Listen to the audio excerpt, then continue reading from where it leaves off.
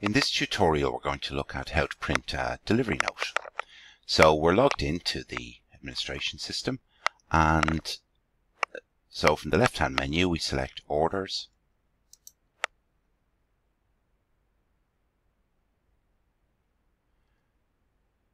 Now we have our list of orders displayed. So we're going to print a delivery note for this one order number 9534 so click on it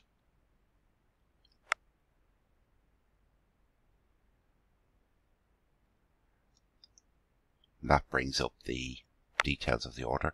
Now, if we look down here on the right hand side, we'll see we've got a new section called Print Delivery Note. So click on the Print Delivery Note button.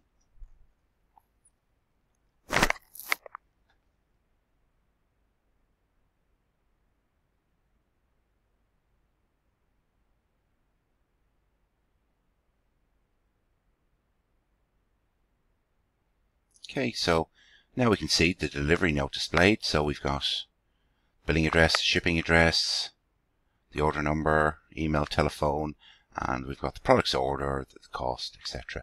So now we can just come over to the left hand side and we can, if we need more than, if we need two copies, so one for one to go with the order and one for your own records, you can just change that to two.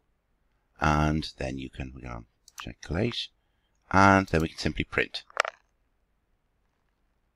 and that will give us now two copies of the delivery note, one for to go with the customer order and one for our own records.